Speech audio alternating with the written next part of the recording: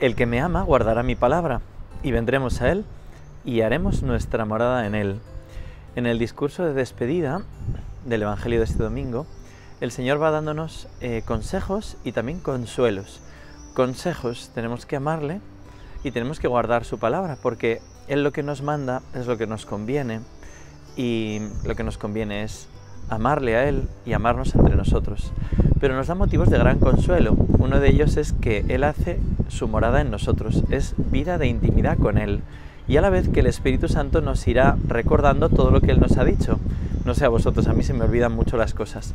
Así que agradezco que el Espíritu me recuerde las palabras de Jesús. ¿Para qué? Para obedecerlas. Nuestro mundo habla de libertad y en realidad nos esclaviza a nuestras pasiones, a los pecados. En cambio Jesús nos habla de obediencia qué es lo que nos hace verdaderamente libres. La verdad nos hace libres. Que Dios os bendiga a todos.